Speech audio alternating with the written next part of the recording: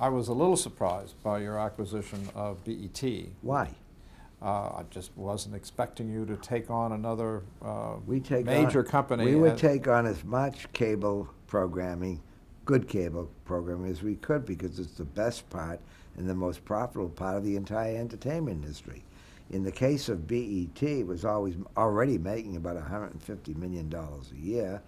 Uh, it has only 62 million subscribers. We knew we could get that to 70, and as you may or may not know, advertisers play black, pay black media only 50% of what they pay white media, which is not fair, and we think we can change that. So there's enormous upside. I've, I've been on that deal for a year and a half. I went out to see John Malone about a year and a half ago to talk about BET. And he said he would sell his interest to us only for stock. They don't want money, they want our stock, and they're right. And, uh, and it took about a year and a half before uh, Bob Johnson got aboard. Then he called me and said he wanted to talk about the Malone agenda. Came in. Three months later, we, we made a deal.